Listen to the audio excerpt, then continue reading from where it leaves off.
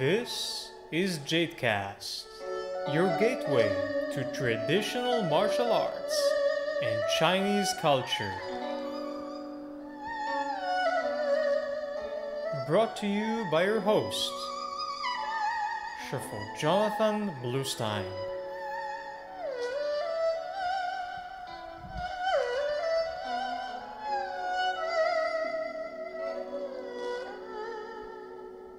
Hello and welcome back to Jadecast. I'm so happy to have you here again.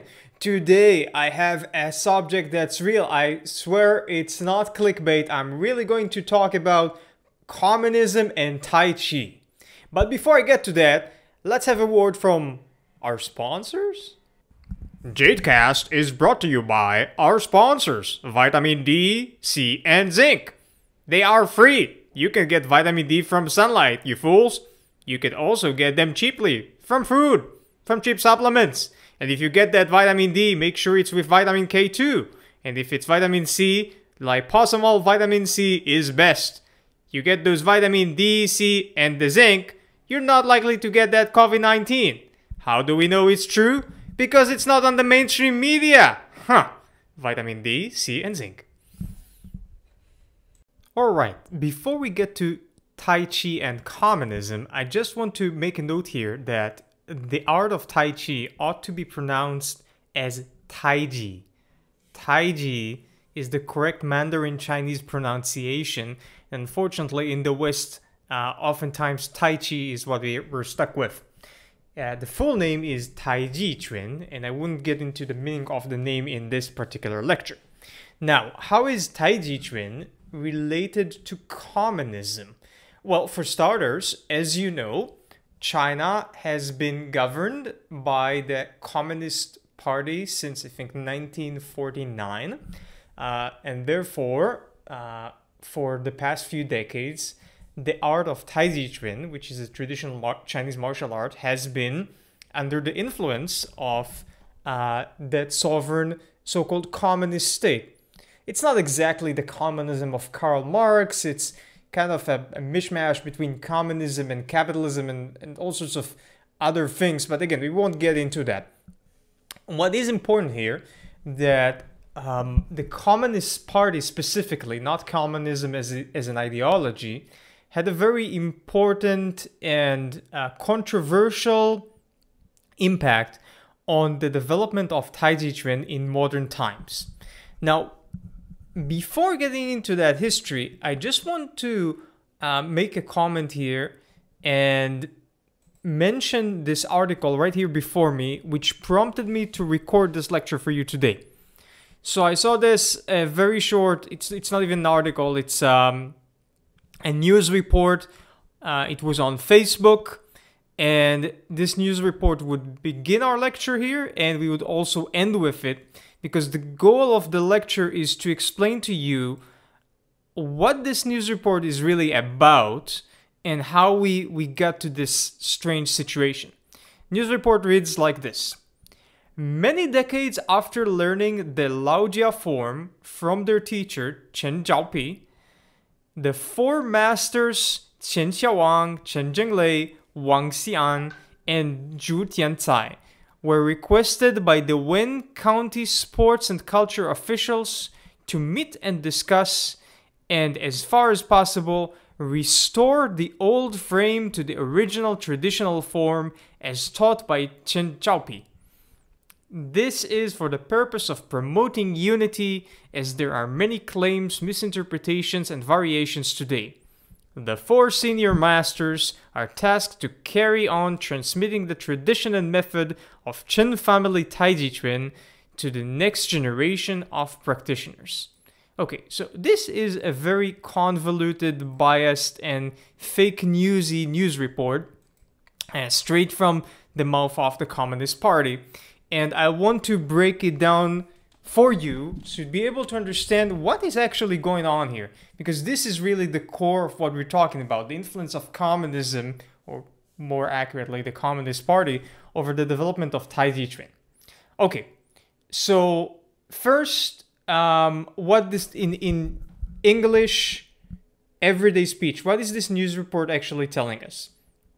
It is trying to tell us that there are those four masters that have met in their uh, village of birth where they, where they grew up. These four masters are Chen Xiaowang, Chen Zhenglei, Wang Xian, and Zhu Tiancai. You don't have to remember those names. Uh, they're collectively often referred to as the four tigers of Chen Village. And they go and they meet in Chen Village. And they are, quote unquote, requested by the Wen County sports and culture officials, which is just a name for people from the Chinese Communist Party who didn't actually make a request of them, they made a demand of them to meet and go get into discussing uh, what is called Lao Jia Yilu. Lao Jia Yilu is one of the two empty-handed long forms in Chen style Taiji Chuan. And those Communist Party officials want those four masters of Taiji Chuan to meet and recreate that form in their style, which is not a communist martial art, right? It's traditional Chinese martial art has nothing to do with communism.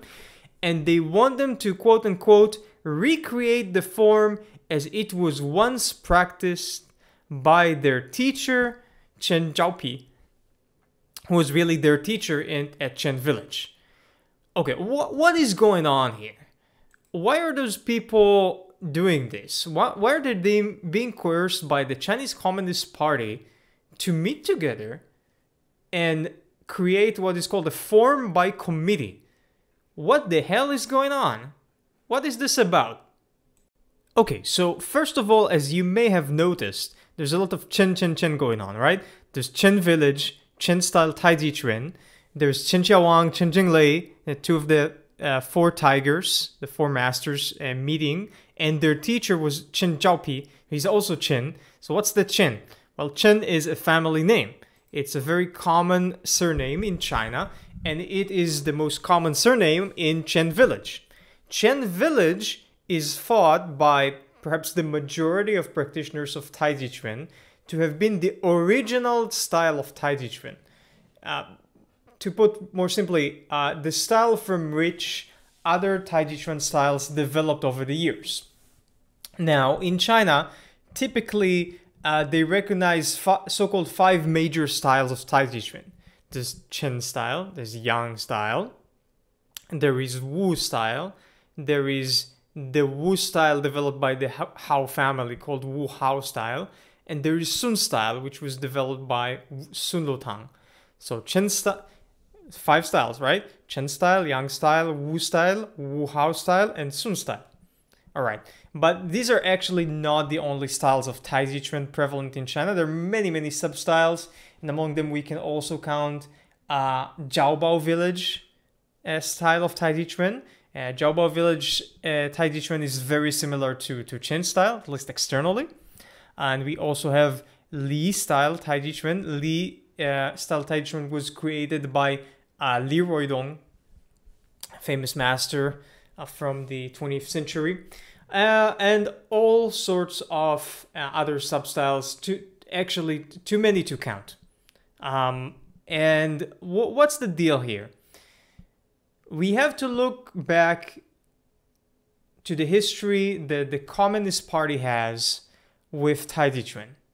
Well, in the very beginning, when the communists took over China, they were completely disinterested in the martial arts.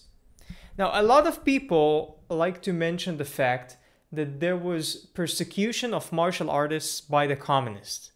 And it is true. It, it, it did happen. But the truth is that the vast majority, over 99% of martial artists, were never persecuted by the Chinese Communist Party. Almost all of the martial artists who were persecuted by the Chinese Communist Party were persecuted like that usually not because they were martial artists but because they belonged to the op- to the political opposition or they were mistaken to be the enemies of the Chinese Communist Party or the, the Chinese state. So the martial arts were usually not the reason for people getting persecuted, all right? It just so happens that because there are so many martial artists in China, that some of them were persecuted. Now it did it did happen once in a while that uh, some officials in the Communist Party did not like the fact that, that people were teaching uh, skills that allow to allow you to injure or maim others. They saw it uh, as a threat uh, because the authoritarian Chinese, uh, sorry, the authoritarian uh, communist regime did not like the idea of, you know, people have this knowledge of how to use violence. They want complete control over their country, right? It's typical of authoritarian regimes. Uh, but again, this was very seldom the reason martial artists were persecuted. All right. So there was a sort of ambivalence. On the one hand, the Chinese Communist Party had this agenda. They they came forth and said that they want to do away with old culture. And they did endeavor to destroy a lot of facets of uh, old and ancient Chinese culture, uh, which they did not, fortunately, they did not succeed in. They, uh, most of old and traditional Chinese culture did manage to survive the communist onslaught in the first few decades of the communist rule. Then later, the communists mostly changed their mind. Now they're trying to bring back a lot of Chinese traditional culture, even traditional Chinese martial arts to an extent. But it's also true that traditional Chinese martial arts were old and ancient traditional Chinese culture. And because of that, uh, there was an issue with presenting those martial arts in public.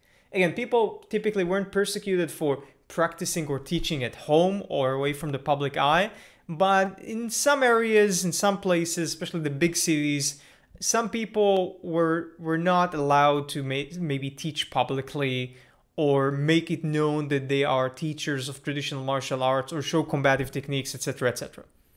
Uh, this is why it was more difficult to teach traditional Chinese martial arts back in the day. Also, we have another phenomenon of a lot of um, traditional Chinese martial arts teachers um, escaping the communists and uh, moving to, to Hong Kong, to Taiwan, uh, even to Japan, the United States, etc. It's, it's a long uh, historical discussion that I wouldn't get into. Our, we, we get to the point of this lecture where and when the Chinese Communist Party is desperately looking for ways to benefit the public's health. Now, of course, a lot of these communist bureaucrats and the communist leadership in China, they weren't really all interested in the health of the public. They were sort of they'd sort of gotten to that point that they had to find some solutions because they have just killed way too many people. Some of them they've killed intentionally, but actually the majority of the many millions that were killed in China during the first few decades of the communist rule weren't killed intentionally. They're just killed by bad government that had caused plagues and famine and natural disasters and all sorts of terrible things. Again, bringing forth the death of millions. And now the Chinese government was trying to for for once being be practical. They they had committees and they had think tanks and they were trying to figure out okay, so we don't have enough food. We can't just produce that extra food out of thin air. Our hospital systems are not advanced yet. Um, we're talking about uh, 1950s and, and 1960s, all right? They were really backwards uh, back in that day. Um, what can we do to benefit the public health so less people would die? They just can't, can't have the entire nation perish. And on top of that, you know, with too many sick people, the nation would be crippled. How can you get a strong nation if everybody is sick? They, they're unable to work or they're less productive and they have to take care of sick family members, etc.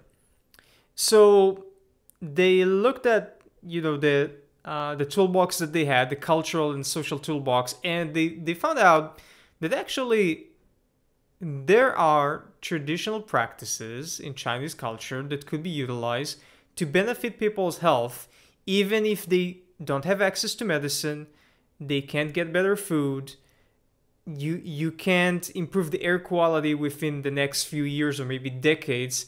A lot of things cannot be done, but people can exercise. And this was one of the few truly brilliant things that the Chinese Communist Party decided to do. They made a decision that they would actively encourage every single person in China to be physically active and to do some type of sport or even at times a martial art. It was quite successful, I must say. If you go to China to this day, especially in the early mornings, everybody's out playing and practicing, doing something physical. You would see in China people in their 60s and 70s and 80s and even 90s that are as fit as uh, fit 30 year olds in the United States and Europe. You wouldn't believe how well built and, and agile and strong some of these people are due to decades and decades of physical practice. Because basically, the government encouraged and incentivized them to, to do some form of physical activity every single day of their lives. And they did because they had to save themselves. Because had they gotten sick, they wouldn't have enough good food and, and access to medicine to, to take care of it well. Well, a lot of them. So this was quite successful. But here here's the thing. Um, like I said, the Chinese communist bureaucrats weren't too keen on the idea of traditional martial arts being used combatively. So they took it in all sorts of different directions. Um, by the 1980s, they develop, developed modern wushu, which is uh, a competitive form of traditional Chinese martial arts. It's not traditional anymore. It's basically uh, you stand in a hall and you perform a set of movements in front of judges, and you're scored based on different parameters. And modern wushu ten- tends to be uh, more in line with calisthenics and dance than it is with traditional martial arts. But most of the movements are borrowed from traditional Chinese martial arts. But this is a later development in the, in the 1980s, late 70s, early 1980s. Also, they developed uh, competitive sports fighting, similar to Muay Thai, which they called Sanda, popular to this day also. But th- this again uh, becomes more common in the 1980s. Now we're back, remember, in the 1950s and 60s, and this hasn't come around yet. So they were trying to figure out how can they take the benefits from traditional Chinese martial arts or qigong. I won't, wouldn't get into qigong in this lecture, and bring it to the people. And here's what they decided to do in a very communist fashion. They took a bunch of uh, masters of Taiji Chuan, primarily of Yang style Taiji. And they put them together in a committee and they basically they, they requested of them but like i say it's not a really a request it's coercion when the chinese communist party asks you to do something. They told them we need you to create a movement form in chinese you'd call it taolu in uh, japanese okinawan martial arts you'd, you'd call it the kata. And that form has to, to have the following parameters. It has to be very simple so everybody could learn it whether they're young children or the elderly, healthy or sick, whether they've seen Taiji Chuan before or they haven't. It has to not only be simple, it has to be short in length, meaning it's not going to take you an hour to complete this thing. And thirdly, it has to be easy. So again, everybody could do it.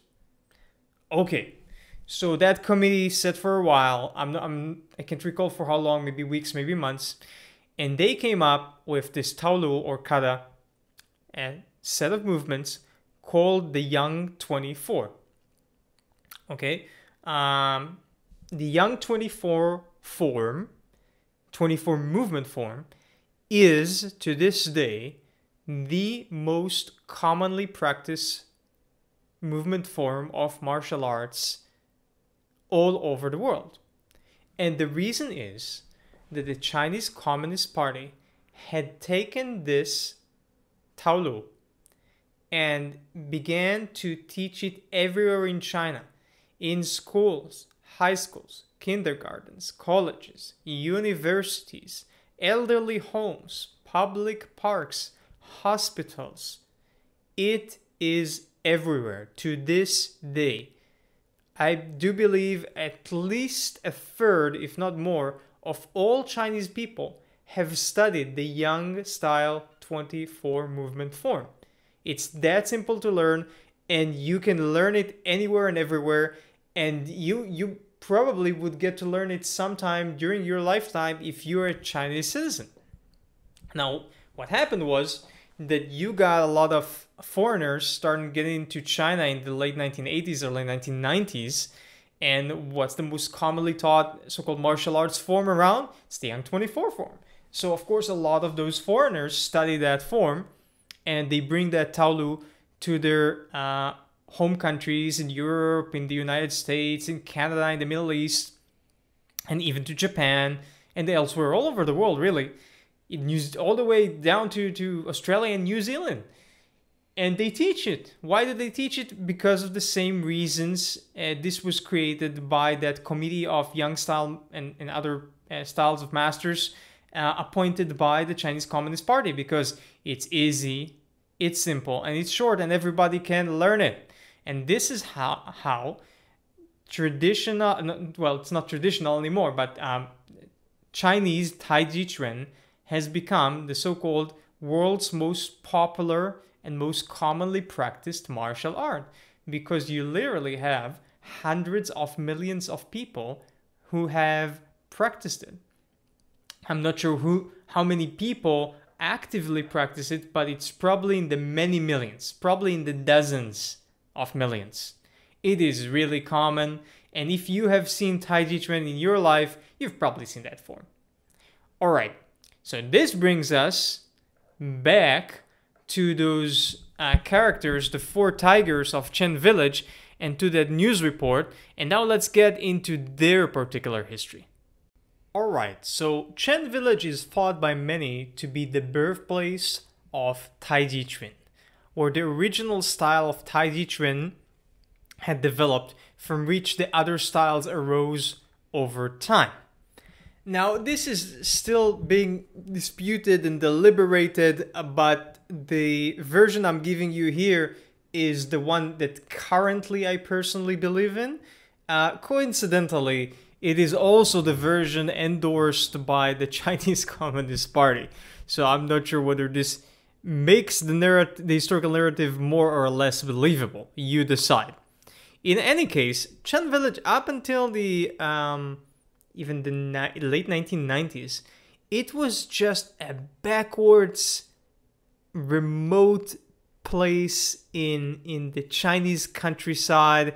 It's about a three-hour car drive from Shaolin Temple. By the way, uh, this this martial art is heavily affected by by Shaolin martial arts and the people they were just poor for many generations almost nobody knew the place existed uh, it was uh, obviously also the residence of the chen clan and a, a very extended family called chen as well as uh, other families who intermarried into their clan and they had a big problem with their taiji chuan uh, it has been handed down for many generations. Some say we're currently at the 20th, 21st, 22nd generation. That is also disputed, but probably it has been there for over 12 generations, which is a long period of time.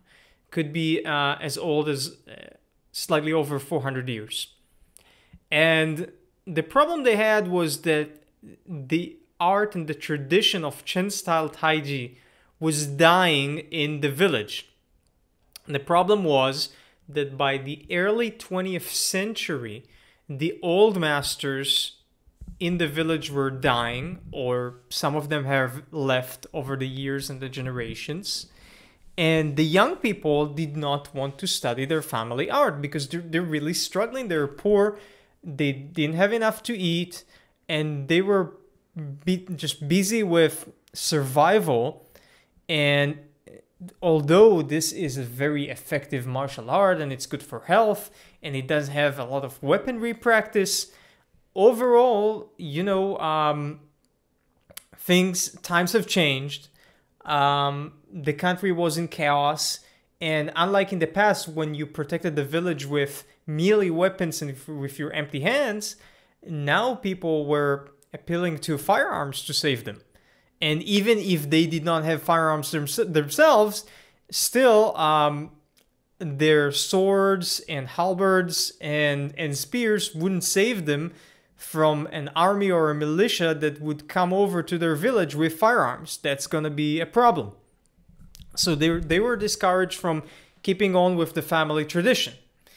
And it got to the point uh, when in, I think it was in the 19, late 1960s or 1970s, um, Chen, Zhao, Chen Zhaopi, or some call him Chen Zhaopei, it's two different names for the same person. He came back to Chen village uh, in his older years. He was already, I think, around his 70s to try to teach the young generation their family's art so it wouldn't get lost. Now, in reality, it wouldn't have gotten lost anyway because they there were a few practitioners here and there in other places in China who kept the tradition alive.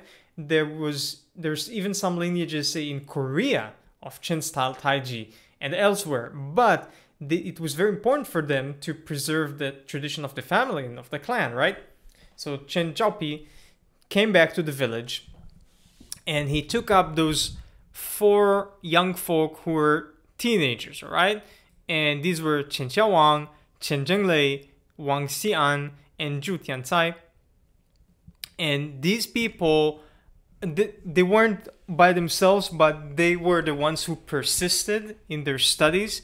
Now, the problem was that Chen Zhaopi taught them when they were young teenagers. I, I can't recall the exact ages, but I think it was what, like 12 to 15 or something like that, or maybe it was 11 to 16, right around those ages. And you, you can teach people quite a lot, but their level of understanding, comprehension, and skill cannot become truly great while they're at that age, right? You can at best lay some foundations. Now, the challenge was made worse by the fact that, again, Chen Zhaopi was older.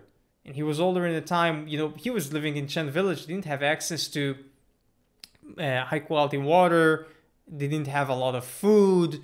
Um, and making things even worse, not only that he was living in harsh conditions and he was old, in the midst of it all, while he was teaching those four youngsters who were later become they, they would have this collective name of the Four Tigers of Chen Village. Uh, a group of Chinese communist bullies came into the village and persecuted uh, Chen Zhaopi because of his political affiliations. This was a very sad and unfortunate and, and just vicious state of affairs. And they, they took this um, old man and they beat him up. Now, of course, he couldn't resist, even even if he physically was up to it to fight some people. You know, not only was older and facing a group of young younger people, they had weapons, and any anyone who resisted, they would kill him. Sometimes they would kill family members.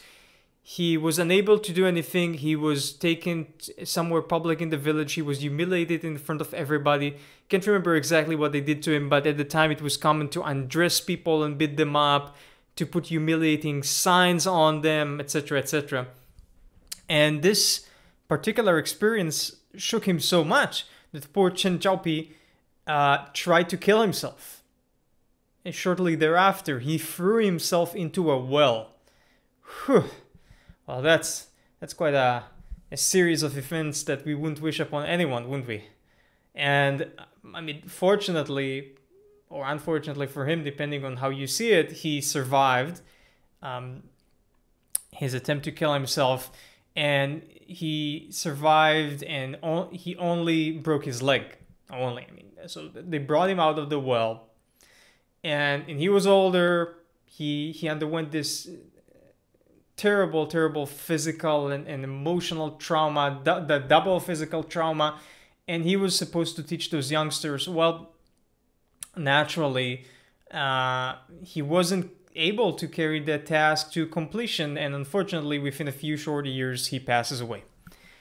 All right, so um, those four teenagers did not get the complete transmission of the art, but they got something. They got some foundations, which is good. Later on, uh, Chen Zhaokui, Chen Zhaokui, the son of Chen Fake, uh, Chen Fake was a very famous teacher of Chen style Taiji Chuan who taught in Beijing. Uh, Chen Fake came and, and taught the guys for I think it was three weeks, and later uh, they studied some more with Feng Zhiqiang. Feng Zhiqiang, Gong Fu brother of Chen Fake, uh, sorry, Gong, Feng Zhiqiang, Gong Fu brother of Chen Zhaokui, and also a disciple of Chen Fake. Chen Fake, Chen Zhaokui's father, taught Feng, Feng Zhiqiang, and then Feng Zhiqiang came to Chen village, and he taught Chen Qiaowang, Chen Zhenglei, Wang Xian, and Zhu Tiancai uh, for I'm, I'm not sure how long, but he helped them also uh, reconstruct some of their family's tradition.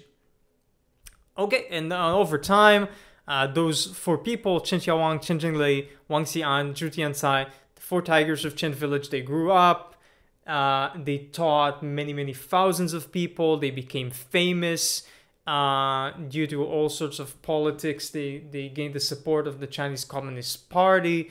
Chen Village became a tourist attraction equivalent to Shaolin. Uh, they got a lot of Western students. Some of them got even rich teaching Chen style Taiji Chuan. And the rest is history. Uh, but then this gets us to that news report that I began the lecture with, and now we are able to better understand what this was really about. Often, when the Chinese Communist Party becomes your business partner, the benefits could be that you potentially would become rich, as has happened to some of those teachers. And in their case, also, they had gotten a lot of students, as many students as they wanted. Chen Village be- became this big thing with huge schools. They all built themselves uh, new houses, giant facilities. A really um, impressive, growing to be a very impressive looking place over time. The downside of being a business partner or working with the Chinese Communist Party is that you have to do exactly what they tell you. And um, but here's here's what ha- what's going on right now. So in Chen style Taiji Chuan, there are two Taolu or kata, uh, move, two movement forms that uh, are the foundation of the empty-handed training. One is called Ilu and the other Arlu. Ilu and Arlu meaning first road and second road. And I won't get into the specifics of you know how these are practiced, their characteristics, and, and everything. That's um, for another lecture and probably a few interviews I'll do with uh, style masters in the future. Now, here, here comes along the Chinese Communist Party, and in a typical fashion, they want to standardize. They want Taiji Chuan by committee. They want to create a form of Taiji Chuan which is communist Taiji Chuan, quote unquote. It's not really communist, it's just Communist Party Taiji Chuan. It's, it sounds funny, it sounds weird, like they, they have this bureaucracy has really nothing to do with Taiji Chuan. But here's the thing it's, it's the sort of thing they do. Uh, I give you a, an even more outrageous example. Um, it was recently, in recent years, that the number of Christians in China was steadily growing. And throughout the, the ages, the Chinese imperial dynasties, they, they were always weary of uh, religions gaining power because it happened often that when a religion became too powerful, it would serve as a basis to uh, start a rebellion. And a lot of these rebellions uh, ended up killing millions or dozens of millions and sometimes overthrowing those imperial dynasties. That's a lot of headache that the Chinese Communist Party would like to avoid. So typically there are two solutions for handling that sort of situation in China over the past few thousand years. One solution was to just uh, kill or threaten to kill everybody involved with that religion, which is a last resort. They, they don't start with that usually. what they prefer doing, it's a very, very Chinese thing to do, is to make a standardized so called state version of whatever threatens them. So I remember a few years ago, I saw a report by on the uh, on one of the Chinese Communist Party news channels. They're talking about how Christianity is so wonderful, and it is so so wonderful. The Chinese Communist Party is in the process of creating a version of the Bible that suits communist values, which is quite ridiculous. Now, of course, anyone who comes from uh, a Jewish or a Christian or a Muslim tradition would recognize how absurd and ridiculous is the notion of trying to make a state certified version of the Old or New Testaments, and especially a communist version. that just makes no sense whatsoever. It's just, you can't, these are texts that are part religion, part philosophy, part historical narrative. You can just take that and make it like a government communist version of it. That's utterly absurd. People anywhere in the Western world, people would just laugh at this. Anyone proposing this would be a laughing stock, even though such things had happened, right?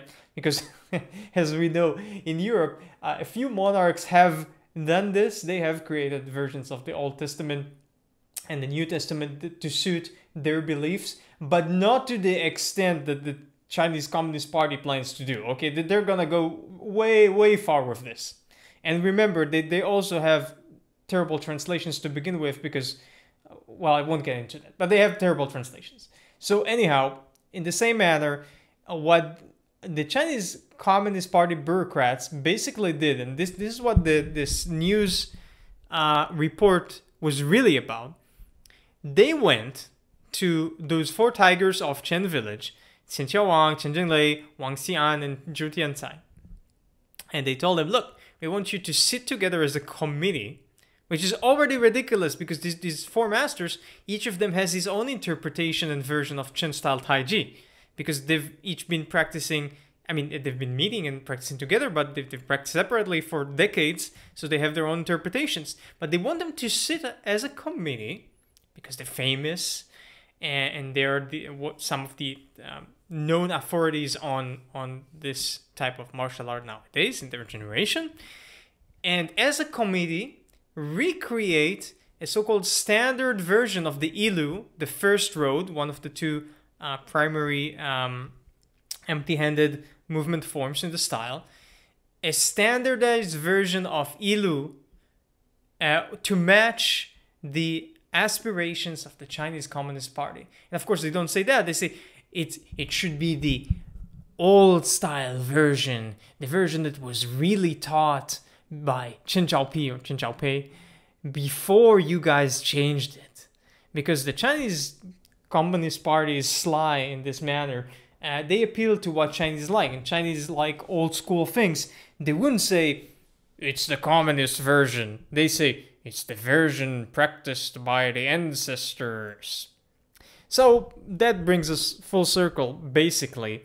Uh, what is going on right now in our time as you're listening to this, there are these four masters of Chen style Taiji who are being coerced by the Chinese Communist Party to sit together and make a standardized ver- version um, of their style to teach to everyone that is supposed to appeal to the masses in the same manner that the Chinese Communist Party led to the creation of the Yang style 24 movement form.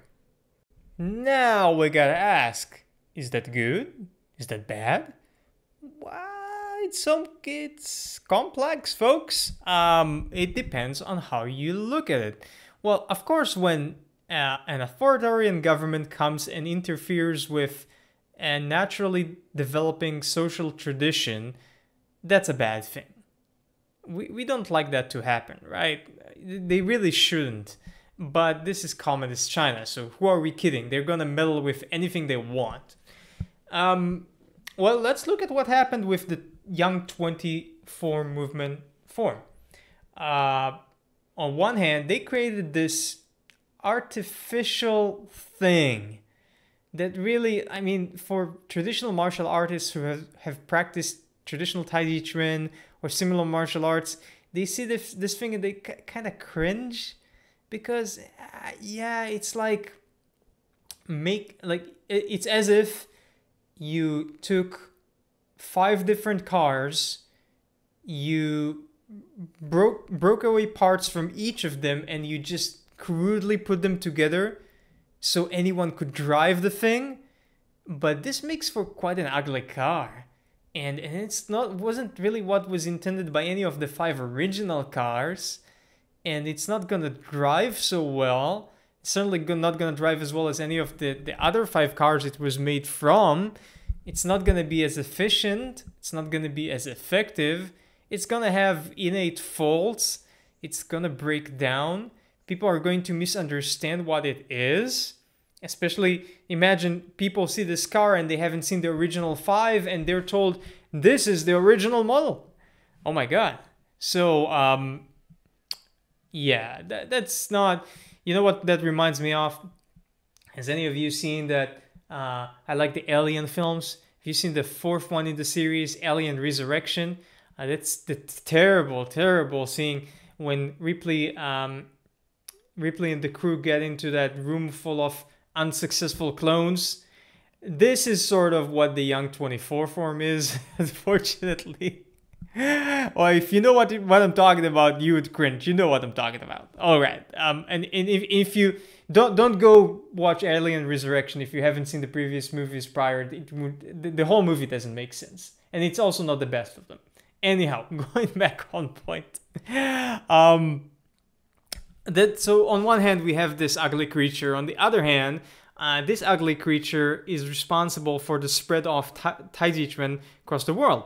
Now, because of that formed by committee, uh, committee of people coerced by the Chinese Communist Party, Tai Chi Chuan, or many know it as Tai Chi, is in almost every single country, maybe all, all countries all over the world now. It's extremely popular.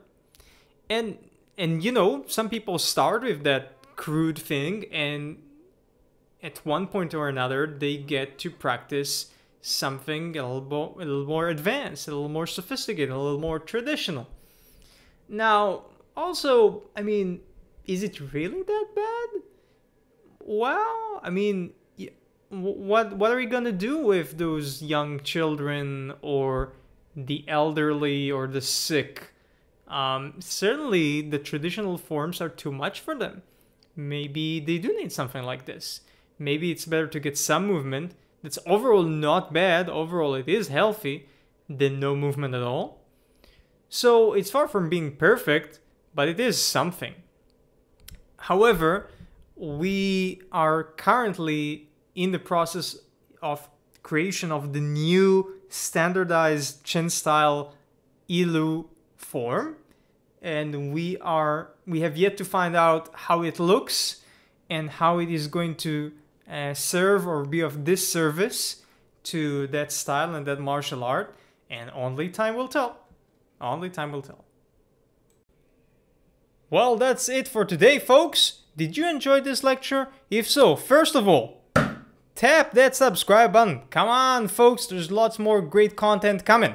Now, if you would like to learn more about traditional martial arts, then I've written a number of books about them and you might want to have a look. So you go on your favorite Amazon website, go on the search box and you can type my name, Jonathan Bluestein, you'd find my books, or you can write the names of some of my books like Research of Martial Arts or The Martial Arts Teacher. You'd get to these. And if you'd like to learn more about what I do and teach, you're most welcome to visit the website of our International Martial Arts Organization. This website is found at bluejadesociety.com. Blue like the color blue, jade like the gemstone jade, society like a society.com. bluejadesociety.com. See you around next time.